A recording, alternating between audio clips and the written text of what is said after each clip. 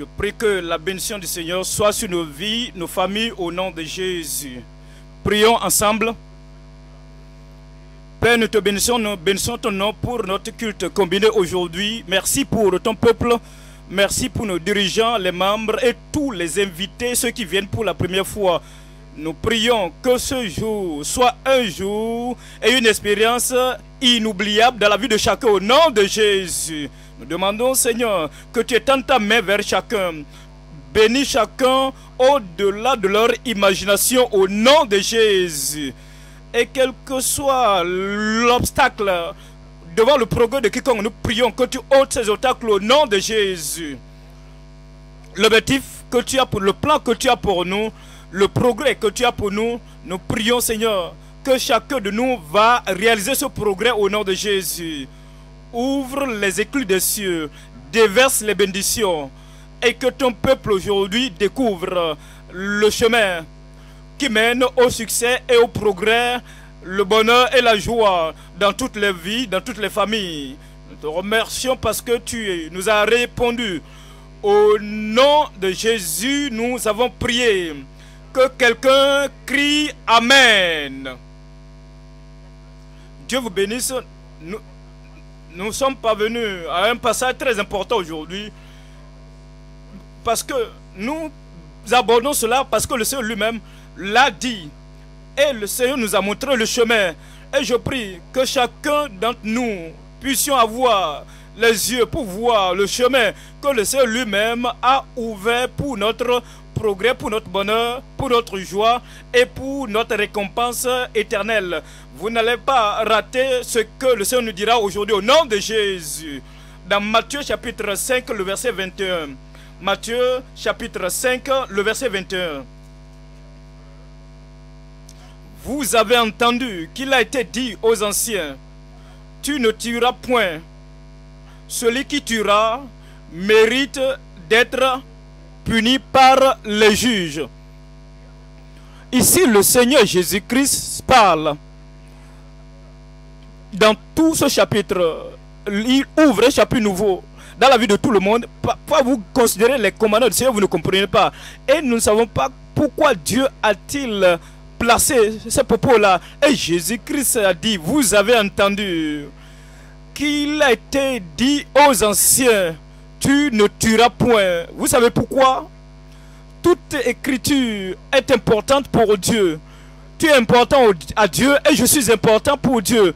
Et il a créé pour chacun, il a créé pour un plan défini, pour un objectif défini. Et si chacun de nous doit faire le progrès et accomplir ce pourquoi Dieu nous a créés, et si vous considérez un homme, si vous considérez une femme, que cet homme ou cette femme soit, quel que soit ce qui soit, si vous, si vous coupez, si vous mettez fin à leur vie, vous avez fait quelque chose au plan de Dieu, vous avez fait quelque chose de mauvais au progrès de Dieu.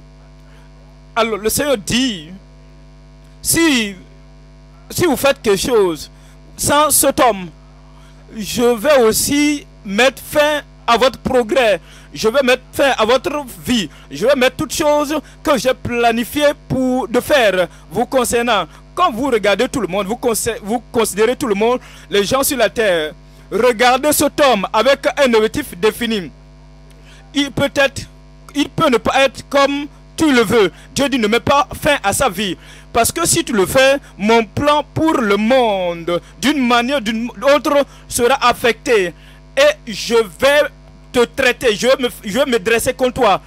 Chacun de nous a un but précis. Alors Jésus-Christ est allé plus loin et il a dit dans le verset 22, mais moi, je vous dis que quiconque se met en colère contre son frère, attendez là un instant, vous voyez, lorsque vous manifestez la colère vers un frère, vers une soeur, si ce frère le sait, si cette soeur le sait, qu'il y a quelque chose qui se passe à l'intérieur, et le fait, au lieu de nous concentrer sur le but, sur le but que Dieu a tracé pour sa vie, de tout, elle, elle est découragée, de tout, elle est stressée, et au lieu de se concentrer sur l'essentiel, pour dire je suis ici Seigneur pour faire ta volonté. La personne là ne peut plus se concentrer. Et Jésus-Christ nous dit ici, ne, laissez la colère.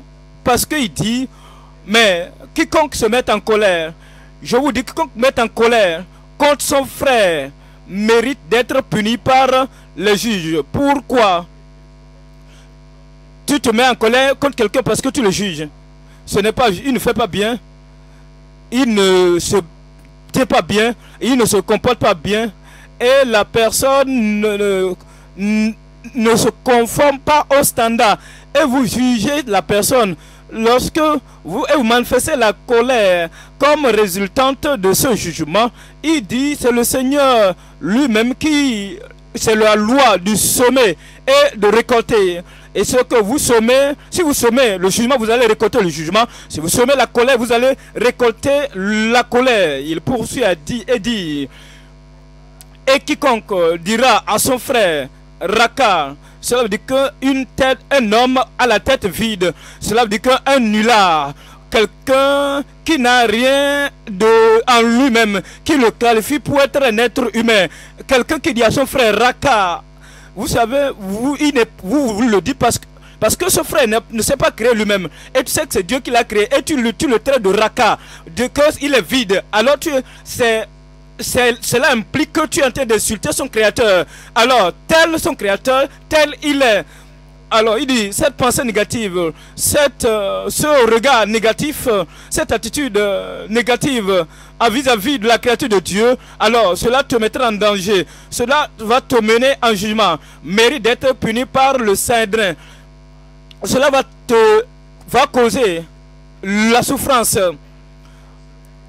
Peut-être on va vous amener devant les Saint-Drins. Eux-mêmes étaient coupables parce que eux-mêmes maltraité Jésus-Christ. Ils, ils, parlaient mal de Jésus-Christ. Jésus parlait ici du conseil du ciel, le conseil de Dieu Tout-Puissant. Et que celui qui lui dira insensé. Vous savez, vous regardez quelqu'un qui a été créé selon l'image de Dieu, peut-être un enfant, peut-être un adulte, ça peut être n'importe qui, un chrétien ou un non-chrétien, et tout ce que vous pouvez dire, et vous n'avez rien, vous, de bon à dire concernant cette personne, et vous n'êtes même pas capable de voir le bien, le bon côté. Et ce que vous pouvez dire, regarde-le, c'est un insensé. Il vient de la main du Créateur. Il est le produit de la création de Dieu. Et dit, tu dis, c'est ce que Dieu peut faire de toi, toi insensé alors tu insultes Dieu par ricochet. Et à cause de cela, il dit, le fait d'insulter Dieu, tu seras puni, tu seras passible de jugement. Si donc, alors, après avoir mal parlé contre la créature de Dieu, après avoir mal jugé la créature de Dieu, c'est pourquoi donc, si tu présentes ton offrande à l'autel, qu'est-ce que le Seigneur dit? Pourquoi te regarde-t-il? Pourquoi il te, te regarde comme tu apportes ton offrande? Si donc tu présentes ton offrande à l'autel et que là tu te souviennes, ce mot, c'est un mot qui quelque chose, quelque chose là, que tu te souviennes que ton frère a quelque chose contre toi, quelque chose, c'est comme quelque chose qui doit se passer. Alors, le mot, c'est presque rien. Quelqu'un qui a quelque chose, une blessure dans le cœur, cela endommage sa pensée et vous l'avez distrait, vous l'avez détruit. Si vous, si, vous croyez en ce que vous dites, que Raka veut dire un homme, un compagnon, un homme vide, à la tête vide, ceux qui me connaissent et qui me voient, ils disent que je suis Raka, que je suis vide, que je suis un nulard, alors vous avez détruit une vie. Et cette personne reçoit ce, sentiment qu'il a fait. Et si la personne ne comprend pas que le, verdict final vient de Dieu Tout-Puissant, si cette personne n'a pas la compréhension, elle va être affectée par tes propos, par tes insultes. Elle dit, je ne sais pas si c'est juste ou pas. Après tout, je suis un insensé, on a dit. Et s'il voit quelque part, il n'est pas sûr de lui-même. Parce qu'il est indécis dans sa vie, parce qu'il dit, je ne comprends pas que cela va produire ou pas, cela va donner du résultat. Je suis un insensé, je suis un insensé. Alors, il y a quelqu'un là qui trimballe blessure dans son cœur à cause de tes mots, de tes paroles, de tes propos, à cause de ce que tu dis et à cause de ce que tu fais. C'est pourquoi il dit, si donc tu te souviennes que quelqu'un a quelque chose contre toi, et que tu apportes ton offrande à l'autel, il dit d'abord, laisse cette offrande. Dieu n'est pas intéressé dans ton offrande. Après que tu l'as humilié, après que tu l'as dédaigné, et après que tu aies humilié sa créature, il n'est pas intéressé dans ton offrande. Il dit d'abord, laisse là ton offrande. Va te réconcilier. Laisse là ton offrande. Le verset 24. Laisse là ton offrande devant l'autel. Et va d'abord te réconcilier avec ton frère. Puis, viens. Vous voyez d'abord? Il dit d'abord, la réconciliation vient d'abord. La restitution vient d'abord. Et la, pacification vient d'abord.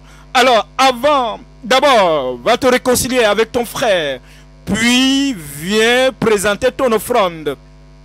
C'est comme ce qui, le fait de faire la paix, la réconciliation et la justice nous rend dignes d'offrir quelque chose à Dieu, d'offrir quoi que ce soit, notre don, d'offrir quelque chose, notre talent, d'offrir quelque chose, notre trésor à Dieu. Cela exige la réconciliation d'abord, la repentance d'abord, la justice d'abord. Et alors il dit dans le verset 25, accorde-toi promptement avec ton adversaire. Ça dit que ça peut être ton frère. Accorde, parce que tu as mal parlé de ce frère-là. Tu, tu ne l'as pas traité comme un frère. Tu l'as vraiment méprisé, dédaigné. Et tu as dit des paroles vides sur lui et tu l'as amené à se sentir vide, un nulard, un poltron, un vaurien, alors il est devenu si ton adversaire.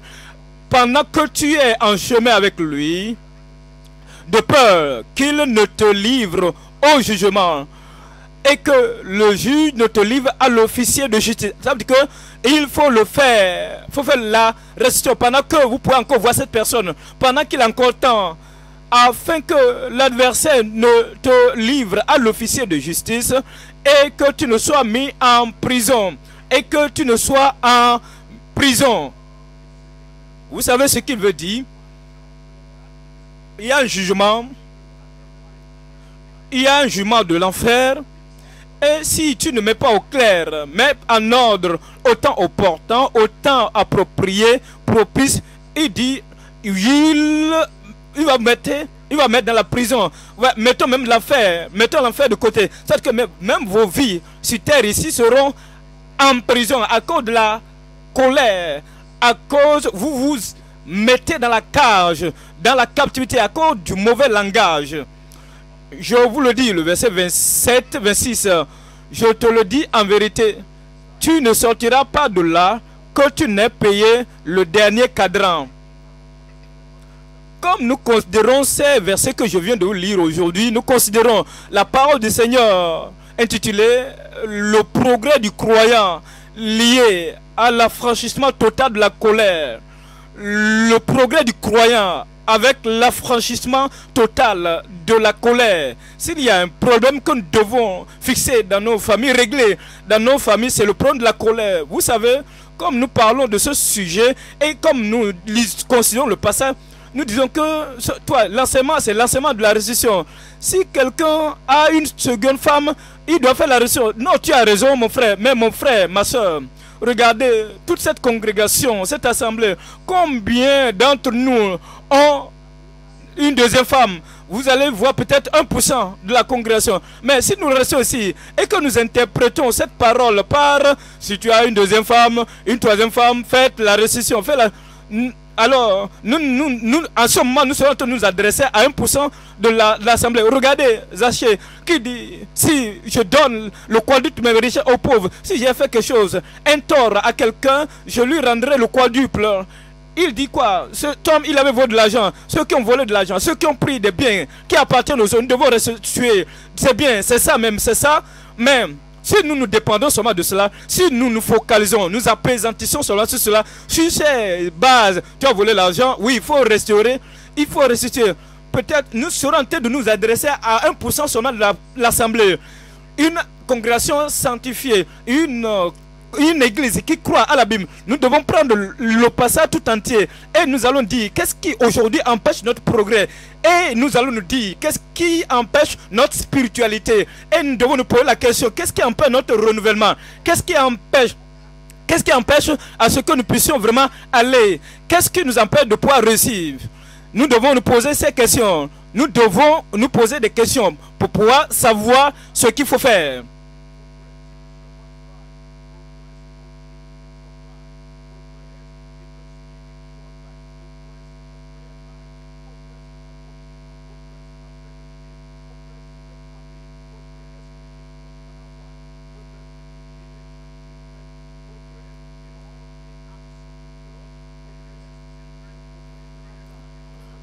Il s'agit du progrès dans tous les domaines de votre vie. Dans votre vie professionnelle, vous, savez, vous devez faire de progrès dans l'œuvre, dans l'œuvre, dans le travail que vous faites au, jour le jour. Il y a le progrès dans notre santé.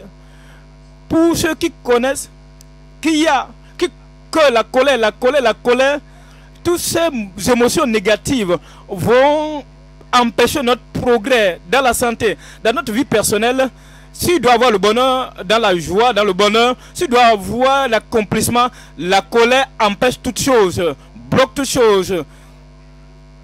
La personne, alors, ne peut jouir d'un progrès total en isolation. On ne peut pas dire oui, c'est bon, bon, la colère, si la colère est un problème, je sais ce que faire.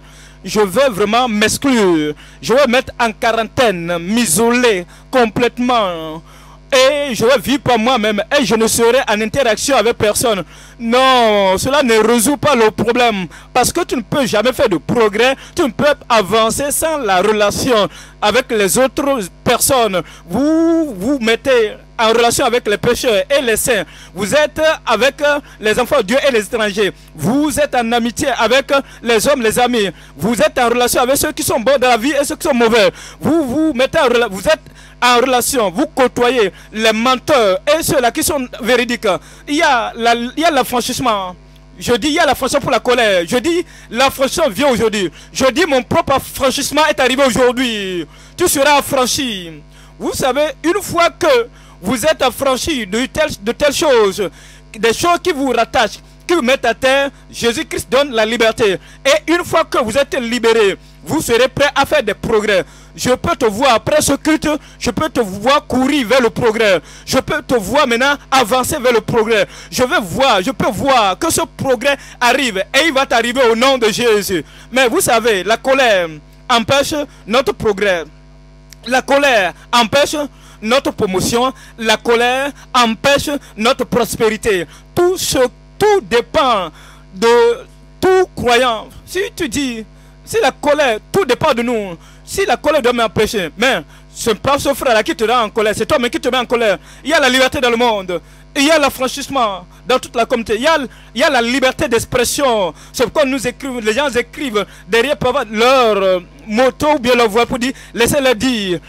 vous êtes libre de faire ce que vous... Quel que soit ce que les hommes font, cela ne te rend pas en colère parce que c'est toi-même qui qui te met en colère. Et vous mettez en colère, vous mettez sous le joug de la colère. Tout dépend de vous. Personne ne peut vous mettre en colère. Personne ne peut vous maintenir dans la colère sans votre permission. Et personne ne peut vous empêcher. Personne ne peut empêcher votre progrès sans votre consentement. C'est pourquoi aujourd'hui, nous considérons le message, le progrès du croyant avec l'affranchissement total de la colère ou lié à l'affranchissement total de la colère tu seras libéré. Est-ce que tu peux être libéré? Voyons dans Jean chapitre 8. Jean chapitre 8.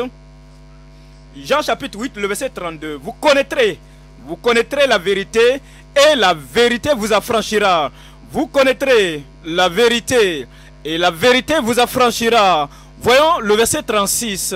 Si donc le Fils, le, le Fils de Dieu, c'est notre Sauveur. Si le Fils si donc le Fils, celui qui a la puissance pour créer et nous recréer, celui qui a la puissance pour transformer notre vie, si donc le Fils vous a franchi, vous serez réellement libre. Mon temps de la liberté est arrivé. Je dis mon temps d'affranchissement est venu.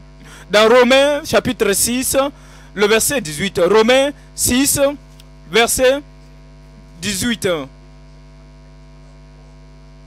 Et il nous dit dans le verset 18, et, ayant été donc euh, affranchi du péché, il y a une force extérieure, il y a une puissance euh, surnaturelle, céleste, qui vient en Dieu de vous pour vous rendre libre. Ayant été affranchi du péché, vous êtes devenus esclaves de la justice. Verset 22, mais maintenant, étant affranchi du péché et devenu esclave de Dieu, vous avez pour fruit la sainteté et pour fin la vie éternelle. Et pour fin la vie éternelle. Amen. Chapitre, le chapitre 8 de Romains, le chapitre 8 de Romains, le verset 2. En effet, la loi de l'esprit de vie en Jésus-Christ m'a affranchi. Comme l'apôtre Paul, comme l'apôtre Paul a joui de sa liberté, il dit, je suis libre, quel que soit ce qui arrive aux autres, Jésus m'a affranchi. Est-ce que vous pouvez lire ce passage pour que vous puissiez vous sentir personnellement concerné? En effet, lisons ensemble.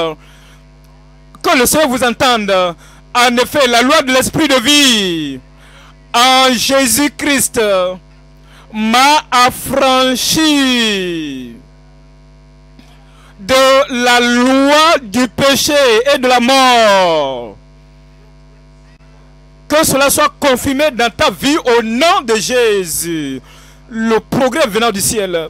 Le progrès par le Saint-Esprit. Le progrès comme le Seigneur t'a créé. Comme il, t'a créé. Il t'a destiné à avoir le progrès. Cela va t'arriver au nom de Jésus. Galates chapitre 2. Galates chapitre 2. Galates 2, 20. Galates 2, 20. J'ai été crucifié avec Christ. Si donc je vis, vous allez vivre. J'ai donc été crucifié avec Christ. Si je vis, ce n'est plus moi qui vis. C'est Christ qui vit en moi. Et la vie que je mène maintenant, je la mène par la foi au Fils de Dieu qui m'a aimé et qui s'est livré lui-même pour moi. Amen.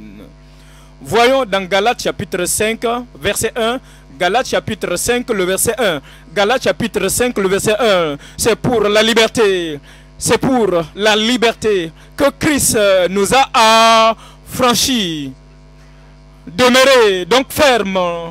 Lorsque Christ vient dans nos vies, il nous rend libres. Toujours qu'il nous lie dans nos émotions, dans nos pensées, dans nos attitudes, dans nos caractères. Il nous a franchis et nous relâche libres afin que nous puissions accomplir ce pourquoi le Seigneur nous a ordonné, a établi, accompli. C'est pourquoi il dit, maintenant comme vous avez connu Christ et comme vous êtes maintenant, vous appartenez à Christ, tenez, demeurez ferme. Donc, euh, dans cette liberté, dans la liberté et dans la liberté, dans la rédemption dans laquelle Christ vous a accordé. Et ne vous laissez pas mettre de nouveau sous le joug de la servitude. Toute, toute servitude est brisée aujourd'hui. Je dis, toute servitude est brisée dans votre vie aujourd'hui.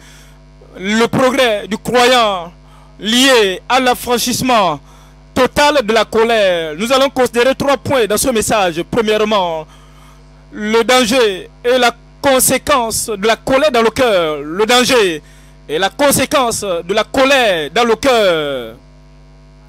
Deuxièmement, la déclaration de Christ sur la colère dans sa maison. La déclaration de Christ sur la colère dans sa maison. Troisièmement, notre domination et notre purge de la colère pour le bonheur éternel. Notre domination et notre purge de la colère pour le bonheur éternel. Point numéro 1, le danger et la conséquence de la colère dans le cœur.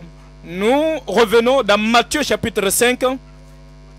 Matthieu chapitre 5, 21 et 22.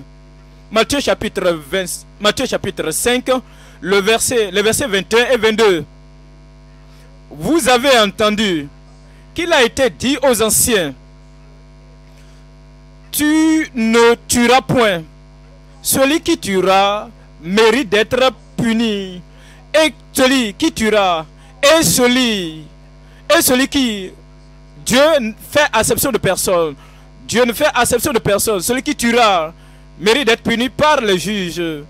Caïn était le premier meurtrier. Il s'est créé des problèmes lui-même. Pour avoir tué Abel. Ce juste a été...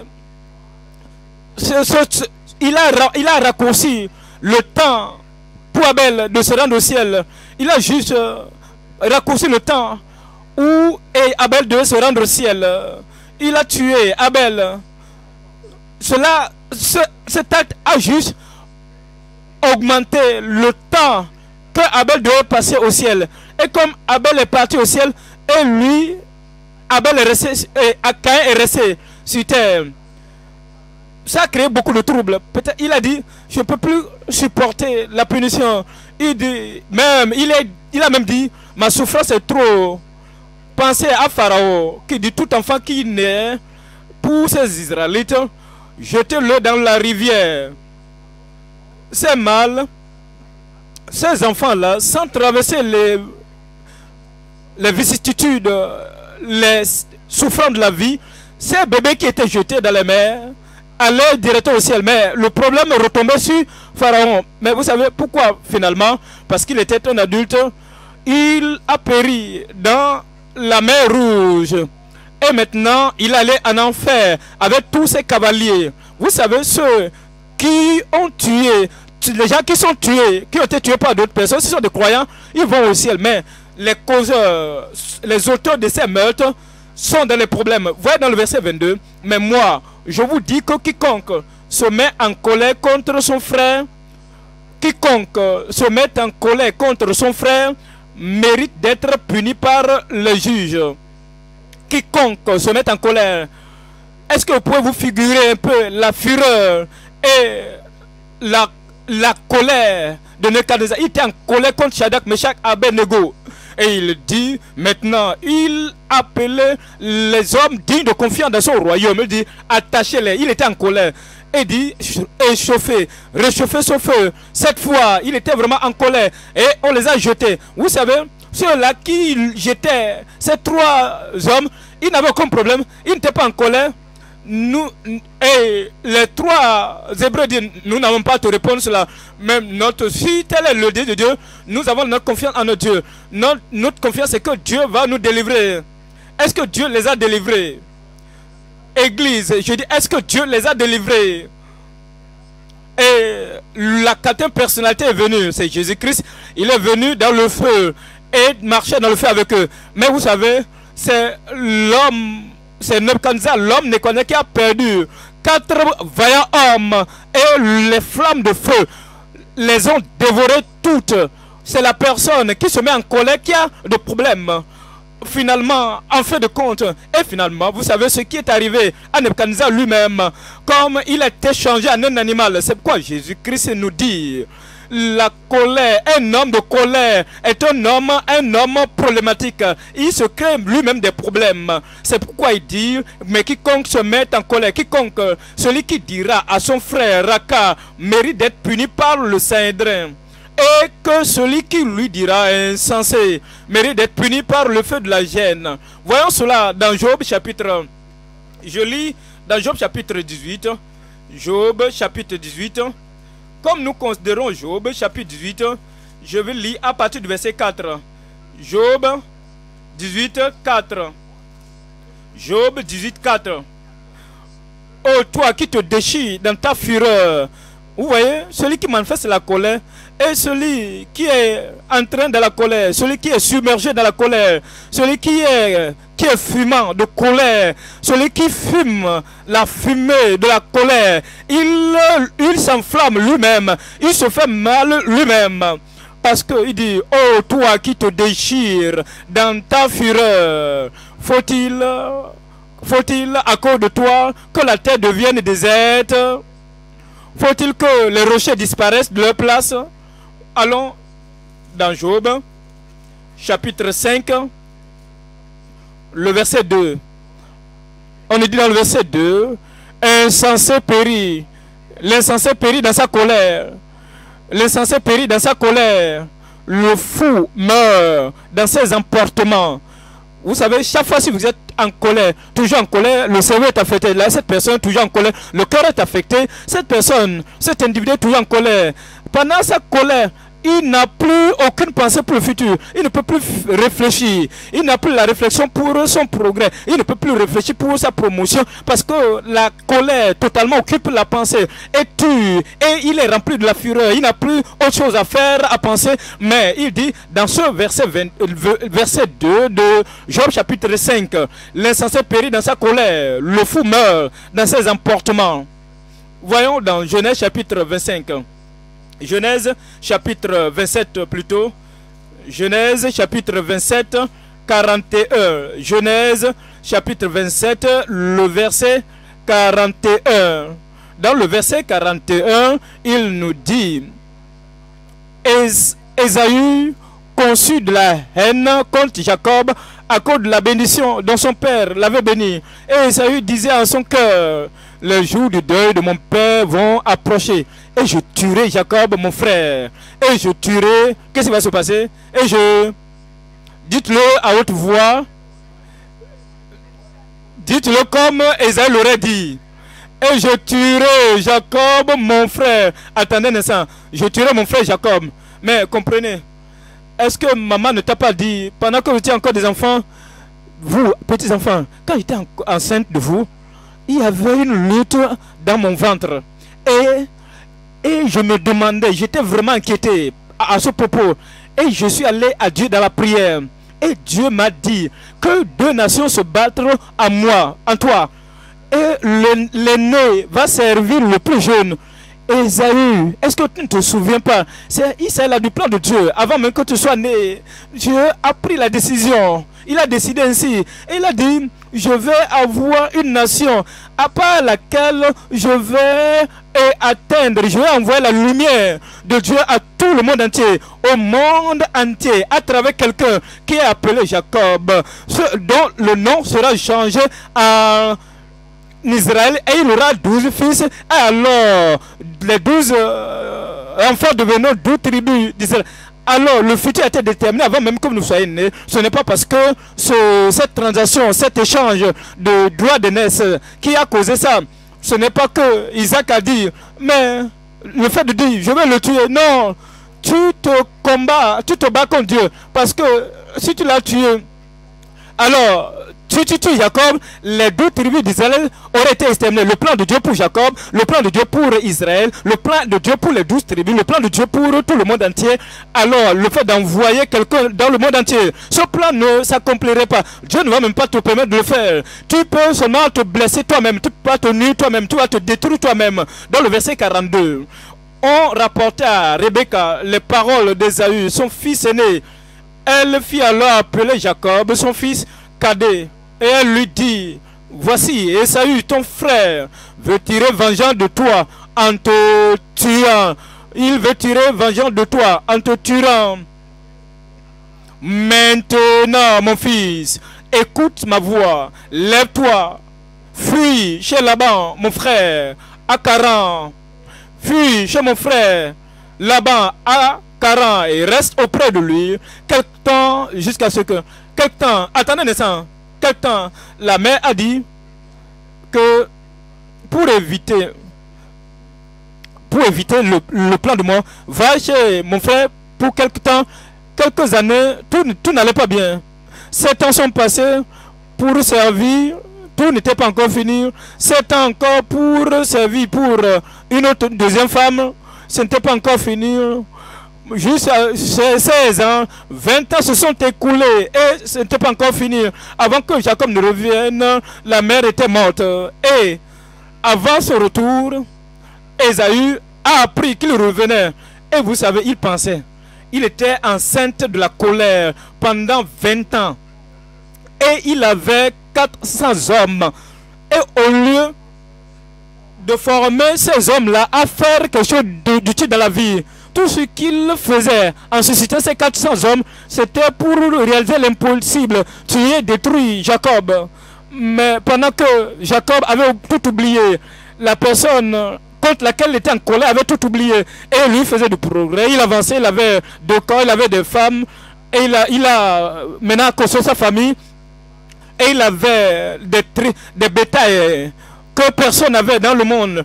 Et cet homme se détruisait, cet homme Esaü se détruisait. La colère détruit la personne qui, est, qui manifeste la colère. Alors, il dit, verset 23, maintenant, lève-toi, le verset, le verset 44, et reste auprès de lui quelque temps jusqu'à ce que la fureur de ton frère s'apaise, jusqu'à ce que la colère de ton frère se détourne de toi et qu'il oublie ce que tu lui as fait. Alors, je te ferai revenir pourquoi serais-je privé de vous deux en un même jour? Mais vous comprenez, il a bloqué son propre progrès. Esaü s'est empêché lui-même. Nous venons dans Somme 106, Somme 106, 32. Somme 106, verset 32. Nous sommes parvenus à un moment très solennel. Nous traversons un homme, nous abordons un homme doux sur la terre. L'homme le plus humble de la terre en ce temps-là. L'homme le plus spirituel en ce, sur la terre en ce temps-là. Nous venons à un homme le plus, le plus privilégié sur la terre en ce temps-là. Son nom était Moïse. Nous venons dans Somme 106, verset 32 ils irritaient l'Éternel près des eaux de Mériba. Et pas de Moïse. Ils, ils étaient en colère parce qu'ils ont provoqué l'esprit de Moïse. Et il s'exprima légèrement des lèvres. Il parlait, il s'exprima légèrement des lèvres. Ils l'ont mis en colère. Ceux qui n'avaient, les gens qui n'avaient pas l'eau à boire, comme ils ont l'habitude de faire, ils sont tous des bébés, toujours murmurant, toujours murmurant et calomniant les autres, grommelant toujours. Et ils ont grommelé pour dire, qu'est-ce que nous allons boire? Nous sommes en train de mourir de faim, de soif. Pourquoi nous as-tu fait sortir en ce lieu? Et Moïse, ce n'est pas la première fois que tu entends cela. Ce n'est pas la première fois. Pourquoi ne pas oublier cela Ignorer cette personne-là? Et il a prié. Dieu a dit, prends la verre dans ta main et tiens-toi devant ce rocher. Ne frappe pas le rocher, mais parle au rocher. Et l'homme était en colère. Pensez à cet homme, un serviteur de Dieu. Pensez à cet homme, l'homme le plus spirituel dans tout le pays d'Israël pensez à cet homme, l'homme qui s'est consacré à Dieu. Il a tout abandonné, toutes choses inimaginables pour le salut, pour la rédemption des enfants d'Israël. Il s'est mis en colère et il parla légèrement de ses lèvres. Et il a frappé le rocher deux fois. Et l'eau est sortie. C'est cet homme qui a de colère, qui a de problèmes. Ceux qui voulaient l'eau, ils ont eu de l'eau. Alors, leurs femmes, leur, leur bétail, ils ont eu à boire. Mais c'est la manière, leur manière d'être. Ils sont des bébés, ils ne vont pas changer.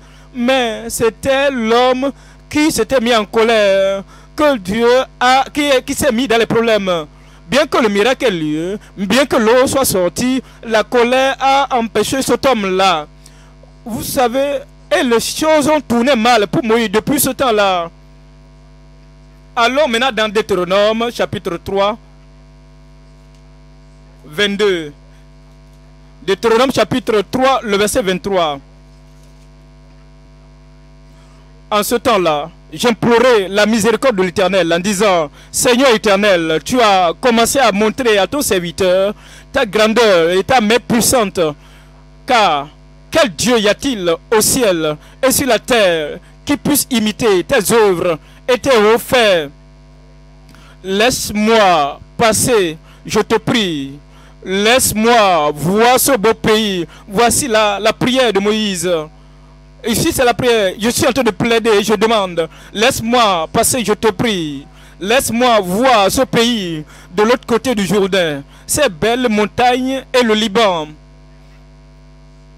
Mais l'Éternel s'irrita contre moi. À cause de vous.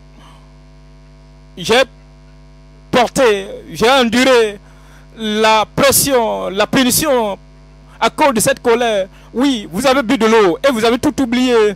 Et maintenant, je suis encore sous l'ombre de ce jour, de la colère. Et il dit, l'Éternel s'irrita contre moi à cause de vous. Et il ne m'écouta point. Et il ne m'écouta point. Cela affecte, ça a affecté sa prière. Vous savez, lorsque vous avez la colère, vous manifestez la colère. Et quelqu'un contre qui vous manifestez la colère, cette personne mène sa vie tout tranquille. La personne chante, ne sait même pas que quelque chose est en train de se passer. Et s'il veut quelque chose, il a eu ce qu'il veut. Et même que même si vous êtes en colère, peut-être vous l'avez donné cette chose dans la colère. Cet homme est en train de jouir sa vie. Et vous, vous avez des problèmes. La colère empêche la prière. La, la colère, j'allais dire, empêche votre progrès. La colère empêche le plan de Dieu pour votre vie. La colère vous rend, vous amène à perdre, à, à rater, à louper les grandes choses pour lesquelles vous vous attendez, vous apprêtez, vous vous apprêtez à recevoir. Et Moïse disait à Pharaon, laisse mon peuple sortir, je l'amène à la terre promise. Non, maintenant tu peux ne peut pas entrer cette terre promise à cause de la colère. La colère détruit la personne elle-même plus qu'elle ne détruit ceux-là contre qui tu es en colère. Mais l'Éternel s'irrita contre moi à cause de vous et il ne m'écouta point. L'Éternel me dit, c'est assez, ne me parle plus de cette affaire. C'est assez, ne me parle plus de cette affaire. Ne me parle plus de cette affaire. Nous venons dans 1 Samuel chapitre 20. 1 Samuel chapitre 20. Ici, je vais à partir du verset 30. 1 Samuel chapitre 20. Nous lisons le verset 30. À partir du verset 30. 1 Samuel. Quel chapitre suis-je en train de chercher Et quel verset vous cherchez maintenant là-bas? Verset 30. Alors, la colère de Saül s'enflamma contre Jonathan. Et il lui dit, fils pervers et rebelle, ne sais-je pas que tu as... Arrêtons là, arrêtons-nous pour un instant. La colère ne sait pas comment se contenir, comment se limiter contre l'objet, contre l'objet de la personne pour laquelle vous êtes en colère. La colère c'est comme, déchirer, comme jeter des javelot, des flèches partout. Même les gens qui ne sont pas dans votre collimateur, dans votre, dans votre chemin de colère, dans votre objectif. Ceux même qui ne sont pas vos ennemis. Mais nous voyons ici, Saül était même contre tout le monde. La colère va au-delà de votre objectif, de votre cible. Il dit, fils pervers et rebelle, ne sais-je pas que tu as pour moi, ne sais-je pas que tu as pour ami le fils d'Isaïe, à ta honte et à la honte de ta mère, et à la honte de ta mère, ah, ah, regardez, regardez ceci. Tout le monde sait, connaît la condition de la famille de, du roi. Il n'est pas en contrôle. Il ne se maîtrise même plus. Et il expose tout. Et il, alors, il n'est plus, plus maître de ses émotions. Et il n'est plus maître de sa maison ni de sa femme. Alors, la colère disperse tout. Votre famille ne sera plus dispersée. Vous savez, Satan ne peut pas disperser vos ennemis. Vous n'avez pas dit Amen. votre, votre envie, personne ne peut disperser votre famille. Si cette famille est dispersée, pour, que cette famille soit dispersée, ça dépend de vous. C'est la colère, la fureur qui disperse toutes choses.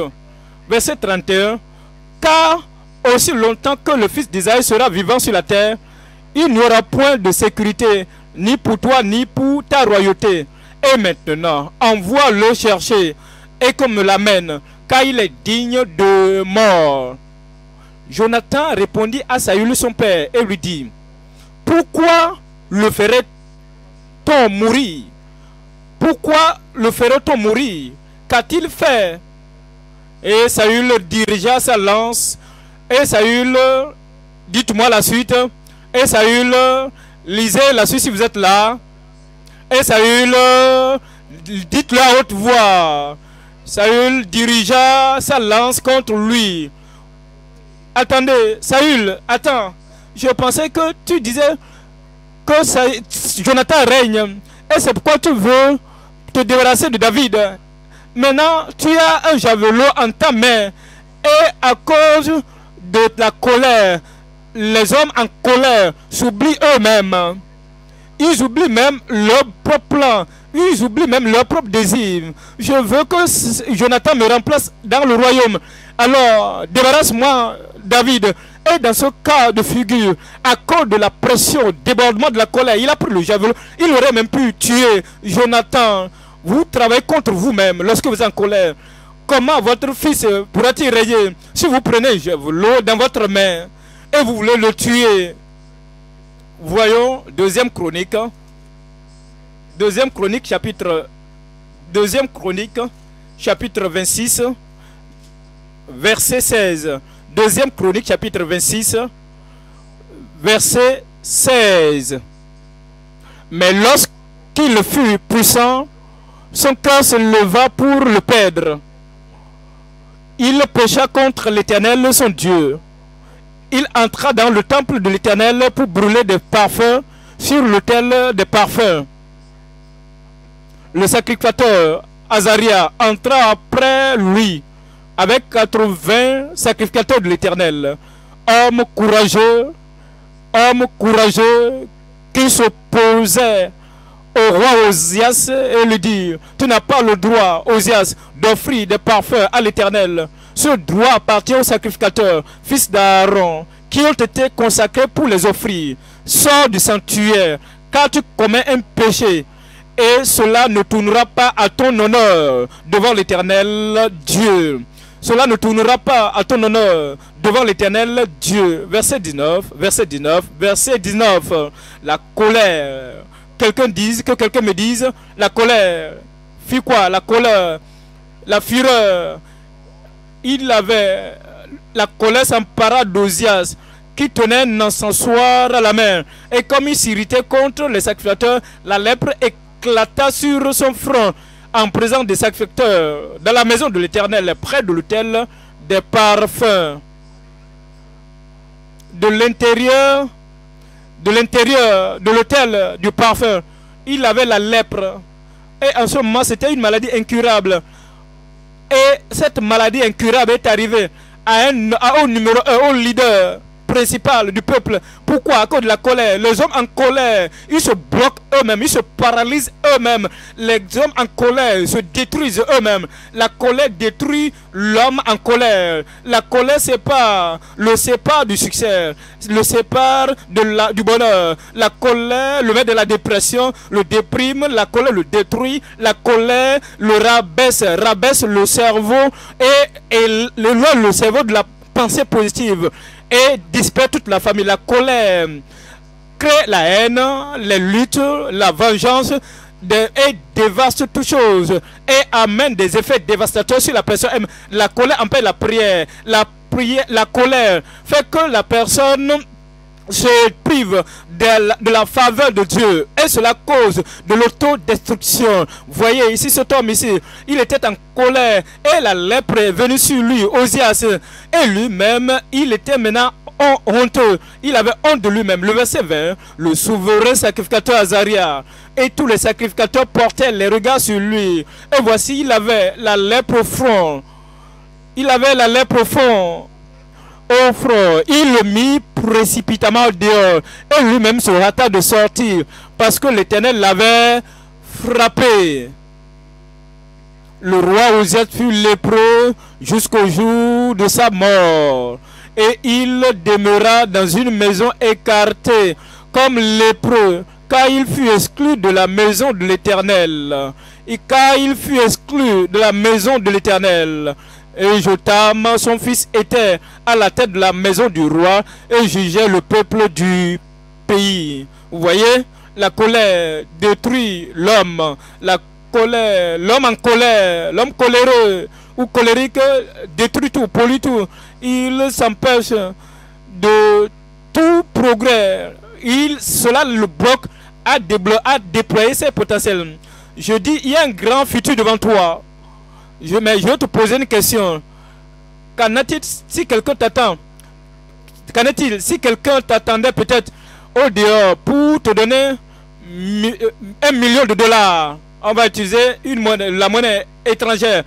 Et la personne t'attend de l'autre côté. Et il y a quelqu'un ici qui fait quelque chose, qui fait quelque chose de banal, de futile, quelque chose d'inutile, qui veut te mettre en colère alors que ta pensée est fixée, ton cœur est sur les 1 million de dollars, et tu dis, j'ai seulement 5 minutes pour aller rencontrer, pour prendre mon avion. Et ici, est-ce que vous allez rester, perdre votre temps avec la personne qui veut vous perdre du temps? Est-ce que vous allez rester? Vous allez, vous allez laisser cette personne, vous allez tout ignorer et vous allez courir vers votre but. Et ce futur, vous n'allez pas le rater au nom de Jésus. Voyez ce qui est arrivé aux gens. Le Seigneur attend de l'autre côté le but de votre vie et le plan pour votre vie vous attend. Il vous attend pour vous le donner.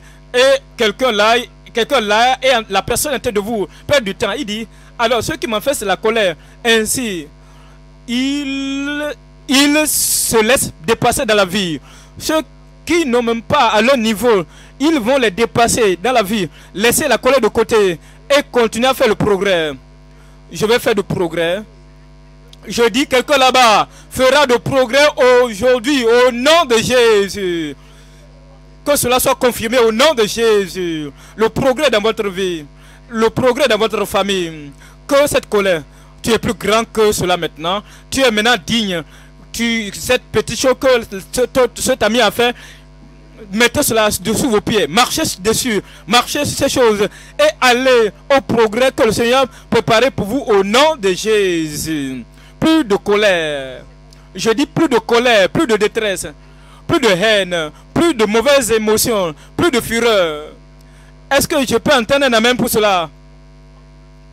Vous allez réaliser de progrès au nom de Jésus. Comment, comment est-ce que nous pouvons résoudre ce problème? Comment nous, nous nous débarrassons de ces choses? Nous allons purger ces choses maintenant de votre cœur. Nous allons vous les débarrasser de votre table.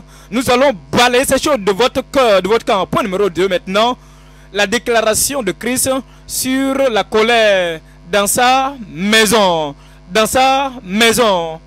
Je lis Matthieu, Matthieu 5, 23 et 24. Matthieu chapitre 5, verset 23. Si donc tu présentes ton offrande à l'autel et que là tu te souviennes que ton frère a quelque chose contre toi, laisse là ton offrande devant l'autel et va d'abord te réconcilier avec ton frère. Puis viens présenter ton offrande. Il y a des choses ici que nous devons considérer. Le souvenir, il y a le souvenir. Vous devez vous souvenir. Peut-être vous avez dit ces choses de façon légère, vous étiez en colère. Vous avez fait cela sous l'effet de la colère. Et maintenant, vous venez à un moment solennel. Ça peut ne pas être à l'église. Ça peut aussi être dans l'église. Ça peut être à la maison ou, ou hors de la maison. Ça peut être dans le bureau ou hors du, du, service, dans le bus ou hors du bus, dans le taxi ou hors du taxi. Mais si vous voulez offrir une pétition à Dieu, ce lieu-là immédiatement devient votre hôtel. Et immédiatement vous vous souvenez que quelqu'un a quelque chose contre vous. Si vous ne vous souvenez pas, le Saint-Esprit le ramène à votre mémoire. Jean chapitre 14. Jean chapitre 14, le verset 26. Jean chapitre 14, verset 26. Mais le consolateur, l'Esprit Saint, que le Père enverra à mon nom, vous enseignera toutes choses et vous rappellera tout ce que je vous ai et il fera quoi? Il rappellera combien de choses? Tout ce que je vous ai dit. Si vous ne vous souvenez jamais que quelqu'un, quelque chose contre toi, que cet autre a quelque chose contre toi, que ce frère a quelque chose, quelque chose contre toi, que ce pécheur a quelque chose contre toi, que ce frère là-bas a quelque chose contre toi, et que tu ne te souviens jamais, alors c'est ainsi que tu n'as pas le Saint-Esprit. Parce que si tu as le Saint-Esprit, le Saint-Esprit va te rappeler tout ce que je vous ai dit, a dit Jésus. Numéro 1, le souvenir. Vous apportez votre offrande à l'hôtel. Et comme vous apportez votre offrande à l'hôtel, et beaucoup de personnes ont des choses mauvaises à votre égard, quelque chose contre vous.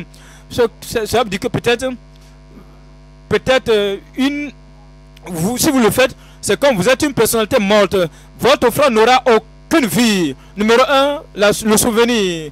Deuxièmement, c'est la repentance. Deuxièmement, c'est la repentance.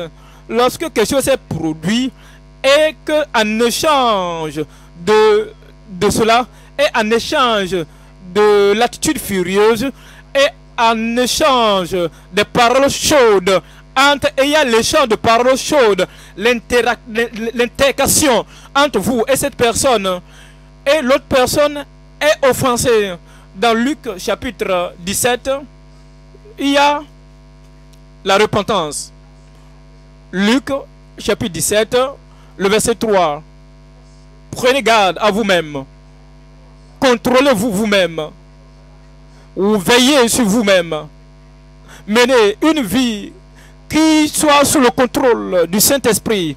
Prenez garde à vous-même. Si ton frère a péché, reprends-le, pas dans la colère, juste souligner, faites-le remarquer, frère, ce n'est pas bien, ce que vous Si je le fais, à toi, ça va te faire mal.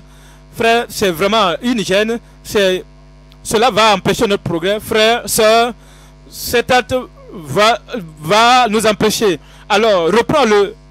Et s'il se repent, pardonne-lui. Il doit voir à la repentance. Après votre souvenir, il y aura la repentance. S'il a péché contre toi cette fois dans un jour, et que cette fois il revienne à toi, disant, je me repens, tu lui, par... Qu'est-ce qui va se passer? Qu'est-ce qui va se passer? S'il revient, faites, dites-le comme si vous allez le faire. Tu lui pardonneras. Vous savez pourquoi?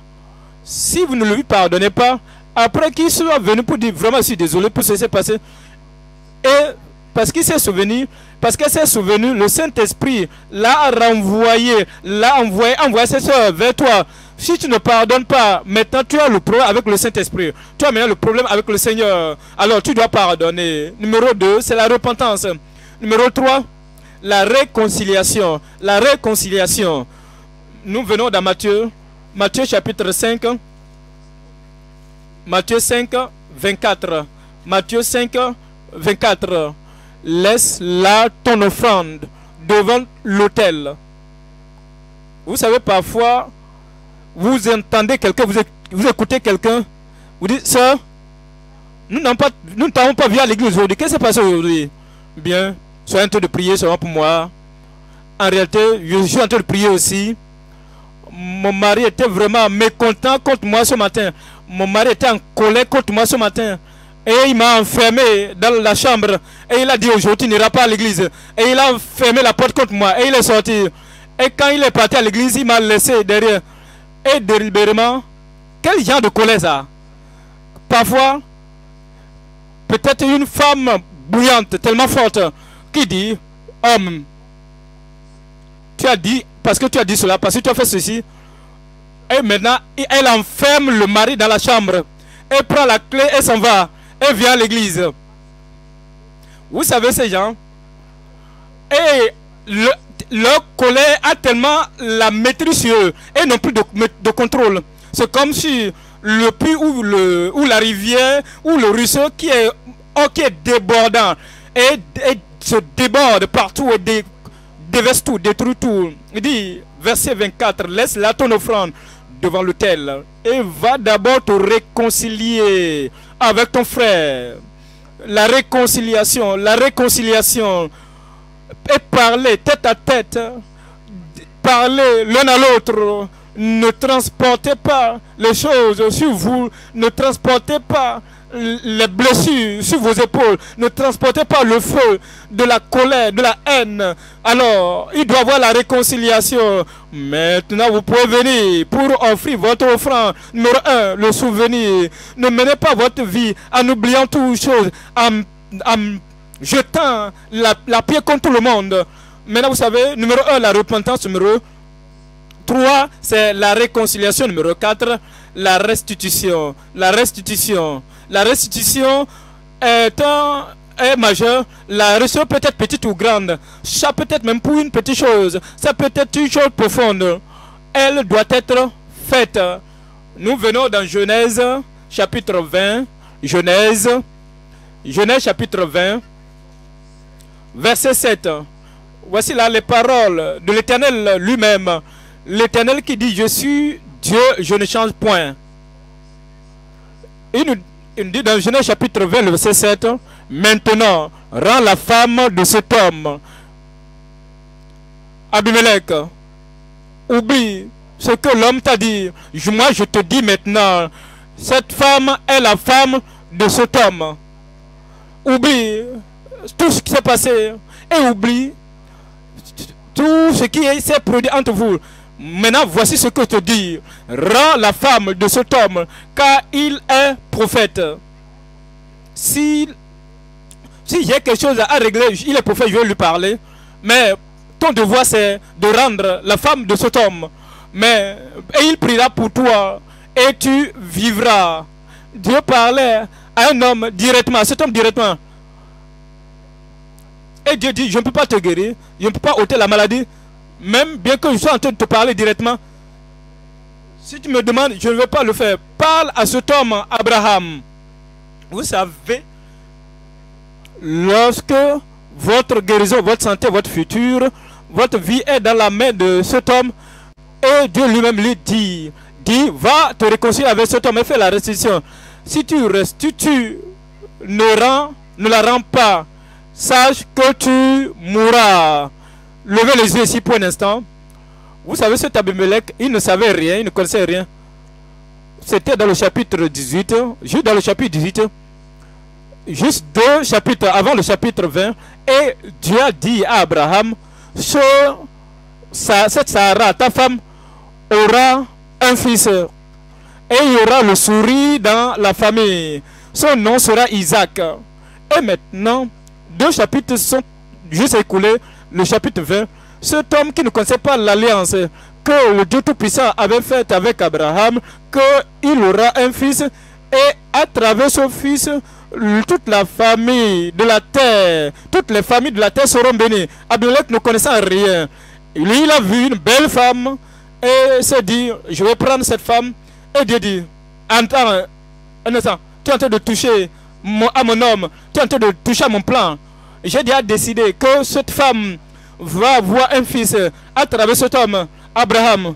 Et Abraham a cru, a eu confiance en moi. Et il a cru, il n'a pas douté aux promesses. Alors tu es en train de détruire mon plan. Tu es, tu es déjà mort, tu es non mort. Rapidement, retourne la femme de l'homme. C'est pourquoi, vous comprenez, Dieu a un plan pour toute famille. Il a un plan pour toi et ta première femme, la femme numéro un. Il a un plan pour elle. Et ce n'est pas que... Il, il, doit venir par toi. Alors, si vous ne le laissez pas venir, vous allez détruire ce plan. Il dit, si mon plan va réussir, tu ne dois pas être un homme mort.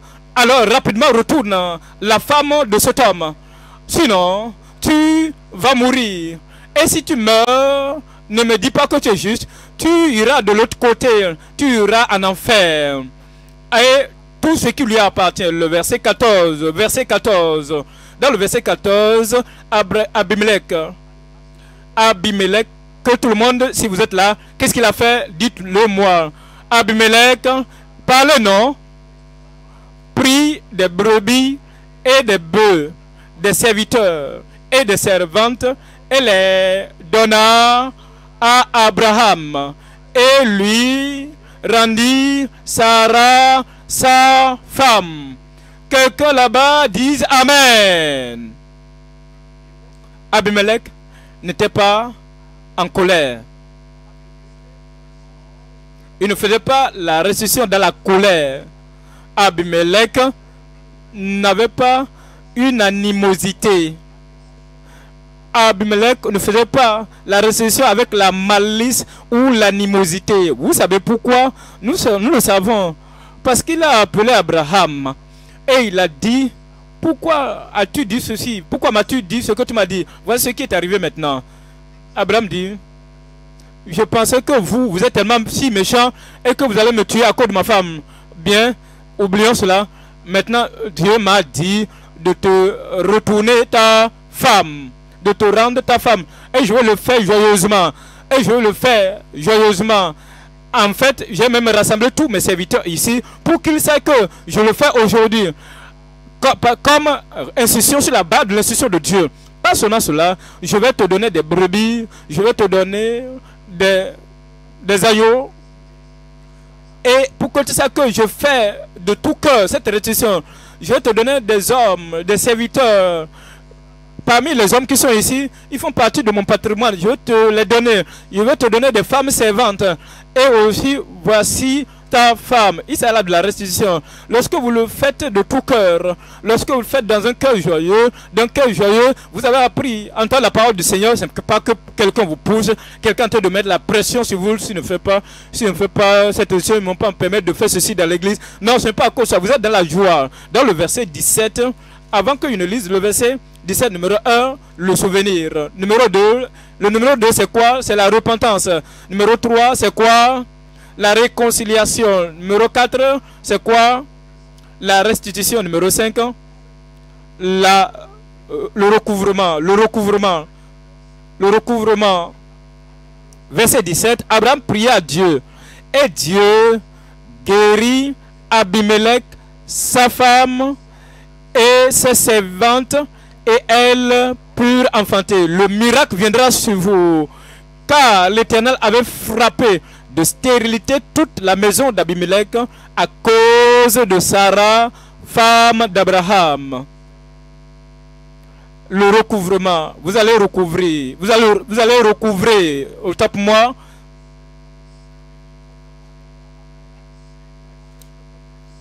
Ésaïe chapitre 57, verset 18. Ésaïe 57, le verset 18. J'ai vu ses voix et je le guérirai. J'ai vu ses voix, le souvenir, la repentance, la réconciliation, la restitution, le recouvrement. J'ai vu ses voix. Il a obéi à ma parole. Il a retourné tout ce qu'il avait pris de notre homme. J'ai vu ses voix et je le guérirai. Je lui servirai de guide et je le consolerai, lui et ceux qui pleurent avec lui. Je mettrai la loi sur les lèvres. Paix, paix à celui qui est loin et à celui qui est près, dit l'Éternel. Je les guérirai. Je te guérirai Le recouvrement est venu pour toi au nom de Jésus. Nous lisons dans Luc. Luc 19. Luc chapitre 19. Verset 18. Luc 9. Le verset 8. Luc 19, verset 8. Mais Zachée, se tenant devant le Seigneur, lui dit, lui dit, voici Seigneur, je donne aux pauvres la moitié de mes biens. Et si j'ai fait tort de quelque chose à quelqu'un, la restitution n'est pas seulement limitée à la deuxième femme, la restitution n'est pas limitée seulement à la rectification du diplôme, c'est là, il y a la restitution à faire. Ce n'est pas limité à l'argent que vous avez volé. Ce n'est pas limité aux choses matériel que vous avez prise de force. Il dit, si j'ai pris quelque chose, vous savez, il y a quelque chose de plus grand que l'argent. Vous avez pris l'argent d'une autre personne. Et quand vous dites, vous êtes né de nouveau, le Seigneur vous parle. Et vous vous souvenez. Souvenez-vous, repentez-vous. Et réconciliez-vous. Faites la restitution alors là se trouve votre recouvrement, votre guérison. Vous avez pris quelque chose de quelqu'un, de vous, quelqu'un. Vous avez pris quelque chose de quelqu'un qui génère des profits pour vous. Vous avez volé son entreprise. Vous avez volé le certificat de quelqu'un, quelqu'un, quelqu'un de le diplôme. Et vous utilisez cela pour gagner. Ce n'est pas que vous êtes en train de retourner l'argent, mais vous retournez l'entreprise, les affaires de cette personne à la personne vous avez pris ses ouvriers et vous avez pris ses serviteurs. Ils sont des serviteurs qui travaillaient pour lui et pour lui donner de l'argent. Et maintenant tu es allé derrière et tu as traité autrement ses ouvriers et tu les as ravis à toi. Alors, si j'ai pris quelque chose, si j'ai fait quelque tort de quelque chose à quelqu'un, je vais le retourner pendant quatre fois. Nous voyons qu'il a, compris que lorsque vous prenez quelque chose, quelque chose de tangible, regardez David, il a vu Saül à terre et il a vu la robe royale de Saül.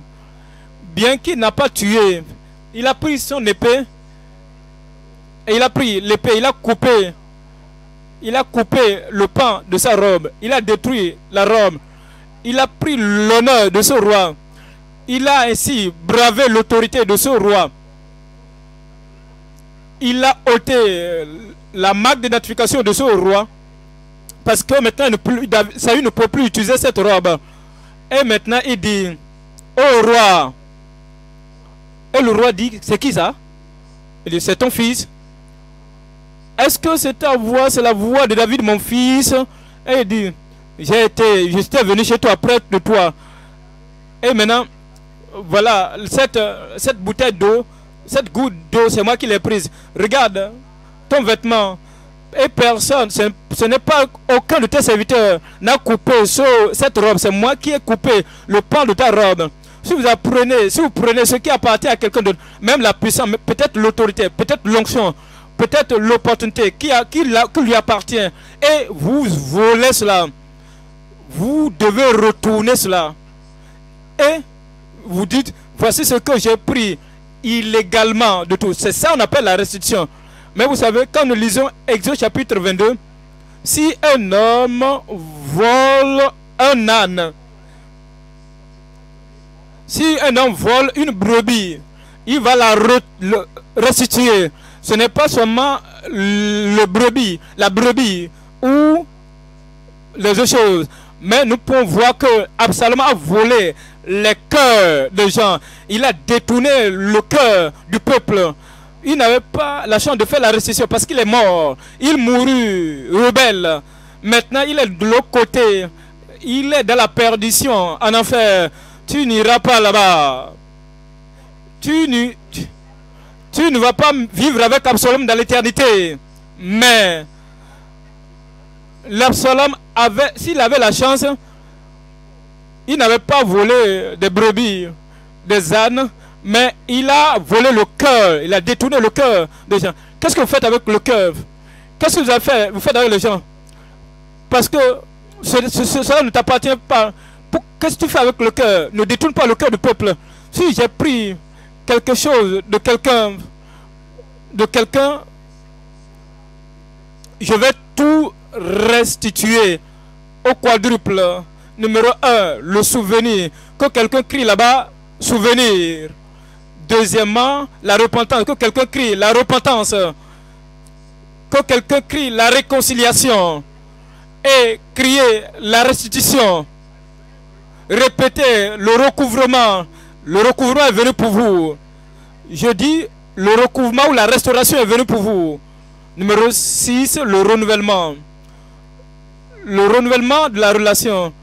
Que vous pouvez dire Vous pouvez voir Abraham et Abimelech. Ils sont assis ensemble. Ils ont parlé ensemble. Et il dit Abraham, tu savais, il savait, vous savez, c'est.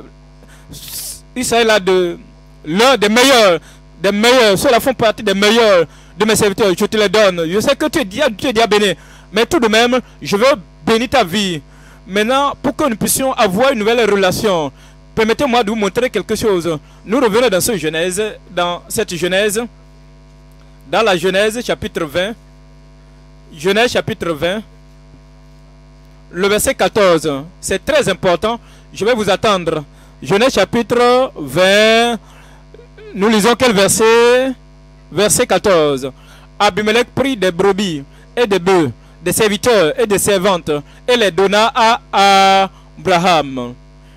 Et lui rendit Sarah, sa femme. Voyez leur relation maintenant. Le renouvellement, que quelqu'un crie, le renouvellement. Renouvellement, que je vous entende, renouvellement. Verset 15. Abimelech dit, voici, mon pays est devant toi. L'homme n'était plus en colère, n'était pas en colère.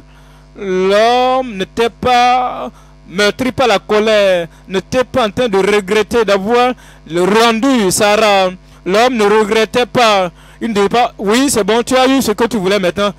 Maintenant, tu m'as mis en trouble. Tu vois ce qui, ce qui arrive à mon peuple. Va-t'en. Mais il y a un renouvellement de la relation. Il y a des gens qui disent, ils font la, la restitution et ils envoient, ils renvoient la femme. Bon, bon ton, église a dit, ce n'est pas l'église, c'est la Bible lu. Si tu veux partir, il faut partir. Ce n'est pas. Alors, il tu ne vas plus voir les enfants encore. Qu'en est-il? Tu fais, tu fais la restitution, non? C'est pour la pension alimentaire des enfants. C'est toi qui. Pour ta pension alimentaire, comment tu t'habilles, comment tu fais, c'est ton problème. Toutes ces choses, toutes ces voitures qui sont disponibles, je pourrais même te, donner. Mais va-t'en, la restitution, ils ont dit non, restitution. Abimelech n'était pas comme ça. La restitution n'était pas un point de querelle, un point de, tiraillement. Mais il a obéi au Seigneur. Et comme tu obéis au Seigneur, il va te bénir au nom de Jésus. Il y aura le renouvellement de relation. Abimelech a dit, il dit, voici, voici mon pays est devant toi. Demain où il te plaira. C'est la restitution. Demain où il te plaira. Numéro 1, le souvenir. Numéro 2, la repentance. Deuxièmement, la réconcilie-toi. Numéro 4, restaure, restitue. Numéro 5, faut recouvrer. Tu vas recouvrer au nom de Jésus. Numéro 6, renouveler. Numéro 7, retourner. Nous venons dans Matthieu, chapitre 5. Retourner, retourner. Matthieu 5, 24.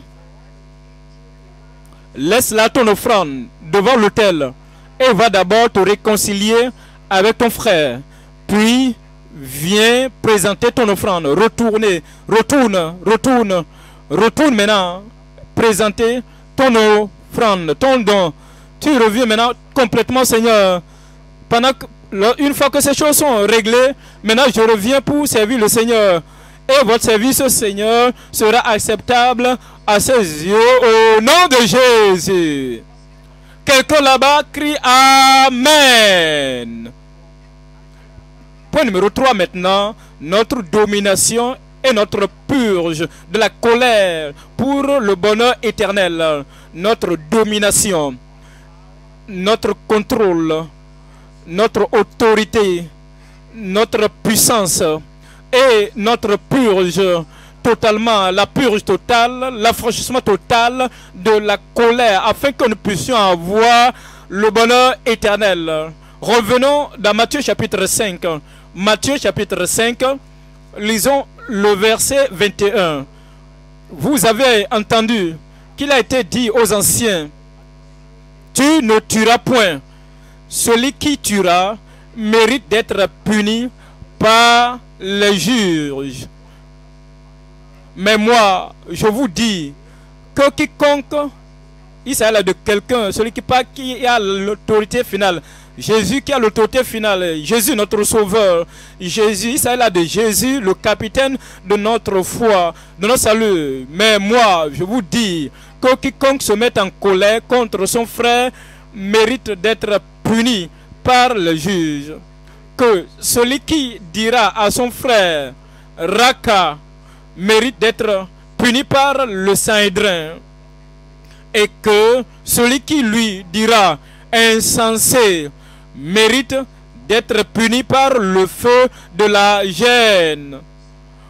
Vous voyez la destination, la destination des gens qui vivent dans la colère, qui manifestent la colère, des gens qui ne font rien pour se débarrasser de la colère, pour traiter ces dispositions de colère, la furie, l'animosité, le feu qui brûle à l'intérieur d'eux, contre leurs frères, contre leurs soeurs, contre leurs femmes, contre leurs maris, contre leurs enfants, contre leurs parents, contre leurs voisins, contre les gens autour d'eux.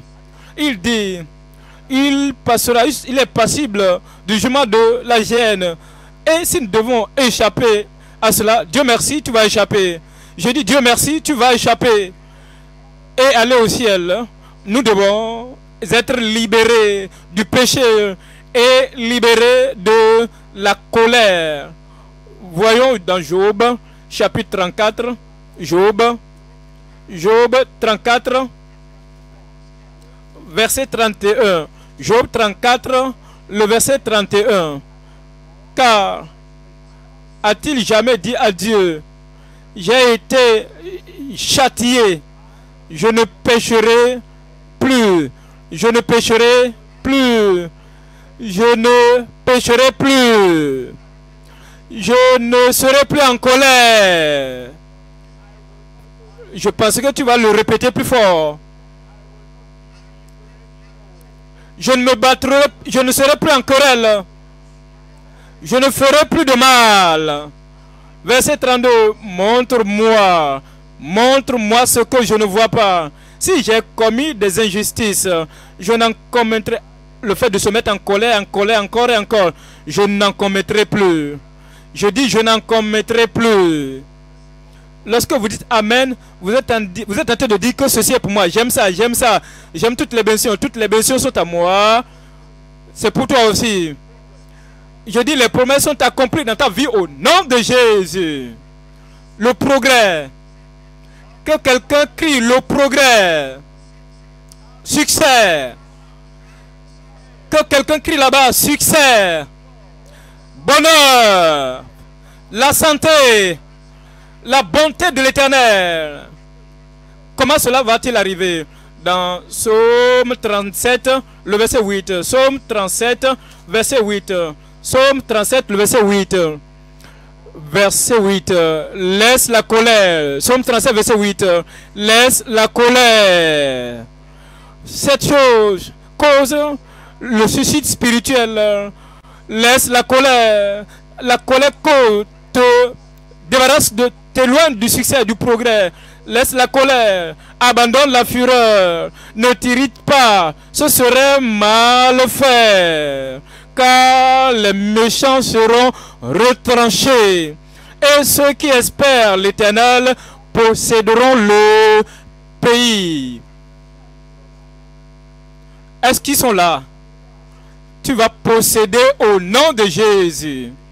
Proverbe chapitre 16. Dans Proverbe chapitre 16, verset 32. Proverbe chapitre 16, verset 32. Celui qui est lent à la colère, celui qui est lent à la colère, attendez un instant.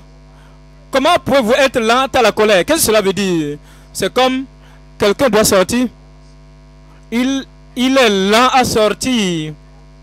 Il dit avant de sortir, je dois prendre ceci. Ah, je me rappelle, je dois faire ceci avant que je ne sorte au Dieu. Et il, il, peut pleuvoir. Je, peux prendre, je dois chercher mon parapluie il est lent de sortir. Comment pouvez-vous mettre, comment pouvez-vous être lent de vous mettre en colère? Vous avez dit, eh, colère, il n'y a plus de champ pour toi. Attends d'abord. Je dois penser par rapport à ceci. Je dois prendre ceci d'abord, telle disposition. Je dois faire ceci, cela ou cela. Vous êtes lent à la colère. La colère dit, je dois venir, je, dois, veux entrer, je veux entrer. Non, non, attends, tu ne dois pas entrer. Je dois parler d'abord à ce frère-là, à cette personne. J'ai quelque chose de plus meilleur j'ai même un téléphone à, faire, et vous prenez le téléphone et vous dites quelque chose de, bon, d'intéressant. Avant que vous ne finissiez de faire tout cela, la colère n'est plus. La colère est en train de frapper à votre porte, à votre porte. Et vous dit, finalement, la colère va dire, l'homme, il n'est plus prêt à me recevoir, je ne plus perdre mon temps. Et la colère va se mettre en colère et partir. Je dis, la colère va se mettre en colère et partir. Ne donnez pas accès ne donnez pas la chance à la colère d'entrer dans votre vie. Quand elle frappe à la porte, faites autre chose, occupez-vous à autre chose. Allez, euh, allez ailleurs, prenez notre direction. Comme vous faites ces choses, vous ralentissez. La colère, la colère va, se, va disparaître. Et toute la défaite qu'elle a portée dans, votre vie, elle va disparaître avec. La victoire est venue pour toi. La domination est venue pour toi. Alors, celui qui est lent à la colère, celui qui est lent de se mettre en colère, il est un homme puissant. La colère ne sera pas ton ami. La colère ne sera pas ton locataire. La colère ne vivra pas en toi. Elle ne va pas te détruire. La colère ne sera plus ton partenaire de vie. Oui, le bonheur et la grâce m'accompagneront, t'accompagneront tous les jours de ta vie. La colère sera un étranger. Elle ne va pas dormir avec toi la nuit au nom de Jésus. Ecclésias chapitre 7. Ecclésias chapitre 7, le verset 8. Mieux vaut la fin d'une chose que son commencement. Mieux vaut un esprit patient qu'un esprit hautain. Ne te hâte pas en ton esprit de t'irriter. Ne, ne sois pas seulement empressé de te détruire toi-même. Ne sois pas tellement empressé de détruire le plan de Dieu pour toi-même. Ne te hâte pas en ton esprit de t'irriter, car l'irritation repose dans le sein des insensés. Je ne serai pas un insensé. Je dis, je ne serai pas un insensé. Tu ne seras pas un insensé au nom de Jésus. Acte des apôtres, chapitre 9. Acte, chapitre 9, verset 3. Acte, chapitre 9, verset 3. Dans Acte, chapitre 9, verset 3, comme il était en chemin et qu'il approchait de Damas, tout à coup une lumière venant du ciel resplendit autour de lui. Il tomba par terre et il entendit une voix qui lui disait, Saul, Saul, pourquoi me persécutes-tu? Il répondit, Qui es-tu, Seigneur? Et le Seigneur dit, Je suis Jésus que tu persécutes. Il te serait dû de rejamber contre les aiguillons. Il te serait dû de rejamber contre les aiguillons. Qu'est-ce que cela veut dire? Lorsque vous mettez en colère contre un enfant de Dieu, vous êtes en colère contre Christ. Lorsque vous êtes furieux contre une femme chrétienne, une femme croyante, un homme sauvé, un mari sauvé, vous êtes en fureur contre Christ. Et il, il est contre vous. Lorsque vous m'avez la colère contre votre sauveur, Christ, comprenez, lorsque les tentations viennent d'être en colère, ce n'est pas cette femme, ce n'est pas cet homme, ce n'est pas son mari, ce n'est pas cette personne. C'est il de Christ. Vous devez penser à Christ. Il te serait dur de rejamber contre les aiguillons. Vous ne serez plus en colère contre Je dis, vous ne serez plus en colère contre Christ. Que ferait Christ? Si vous dites, je suis en colère contre Christ, vous savez, si vous êtes en colère contre votre frère, contre votre soeur, c'est contre le Seigneur. Matthieu chapitre 25. Matthieu chapitre 25, le verset 40. Dans Matthieu chapitre 25, le verset 40. Et le roi leur répondra, je vous le dis en vérité, toutes les fois que vous avez fait ces choses à l'un de ces plus petits de mes frères, c'est à moi que vous les avez faites. Que ce soit une mauvaise ou bonne chose, vous l'avez faite à moi. Si vous êtes gentil envers eux, c'est pour moi. Si vous avez de l'affection, de l'amour envers eux, c'est à moi que vous le faites. Mais si vous avez la colère contre l'un de ces plus petits enfants, de mes frères, vous le faites à moi. Verset 45. Et il répondra, je vous le dis en vérité, toutes les fois que vous n'avez pas fait ces choses à l'un de ces plus petits, c'est à moi que vous ne les avez pas faites. Et de plus, pour dire encore, vous allez retirer, je vais retirer ma bonté, pendant que vous dites, je ne vais, je vais pas donner mon don, je vais, l'empêcher, je ne vais pas lui donner mon amour, je ne vais pas lui donner mon don, vous le faites contre le Seigneur. Vous avez retiré votre amour, vos dons, loin du Seigneur. Et Jésus dit, tu es en colère contre ton frère, oui, tu es en colère contre moi. Tu es en fureur contre ton frère, contre ta soeur, c'est contre moi. Éphésiens, Éphésiens, chapitre 4, Éphésiens, chapitre 4, le verset 30. N'attristez pas le Saint-Esprit de Dieu, par lequel vous avez été scellés pour le jour de la rédemption. Qu'est-ce qui attriste le Saint-Esprit? Verset 31. Que toute amertume, l'amertume, l'animosité, la colère, la clameur, la calomnie, toute espèce de méchanceté attriste le Saint-Esprit. Vous n'allez pas attrister le Saint-Esprit. Verset 31. Que toute amertume, toute animosité, toute colère, toute clameur, toute calomnie et toute espèce de méchanceté disparaissent du milieu de vous. Vous allez le faire. Vous allez les jeter loin de vous. Vous allez les jeter au fond de la mer et elles ne pourront plus ressortir, venir à vous encore. La colère est partie à jamais. Verset 32. Soyez bons les uns envers les autres, compatissants, vous pardonnant réciproquement comme Dieu vous a pardonné en Christ. Avec ceci, votre succès est venu. Votre progrès est arrivé. Le bonheur aujourd'hui, le bonheur demain et le bonheur pour toujours. Vous avez une nouvelle vie.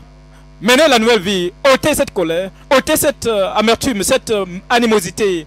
Et maintenant, vous êtes affranchi. Où est la personne affranchie là-bas? Je dis tu es affranchi. Je dis tu es libéré. Lève-toi dans cette liberté, dans cet affranchissement. Et vis de la liberté. Exerce cette liberté. Aime l'affranchissement. Et opère mène ta vie dans cet affranchissement plus de colère, plus de colère. Si vous vous rappelez que quelqu'un a quelque chose contre vous, à cause de ce que vous avez dit, à cause de ce que vous avez fait, et à cause de la colère, à cause de la fureur, voilà, ce jour doit être le jour final. Repars à cette personne et repens-toi. Réconcilie-toi avec elle. Fais la récession nécessaire. Tu vas recouvrer et alors il y aura le renouvellement de ta vie et tu te retournes pour servir le Seigneur sans aucun obstacle. Ouvre ta bouche et prie. Ouvre ta bouche? Souviens-toi, souviens-toi, souviens-toi, souviens-toi. Souviens-toi, fonde son ta vie. Regarde comment tu mets ta vie. La colère là-bas, la colère là-bas, la violence par-ci par-là, la colère, les murmures par-ci par-là, les furies par-là, par-ci par-là. Alors, laisse toutes choses ici pour dire Seigneur, lave-moi dans le sang de l'agneau, rends-moi libre, affranchis-moi, et il va te garder libre.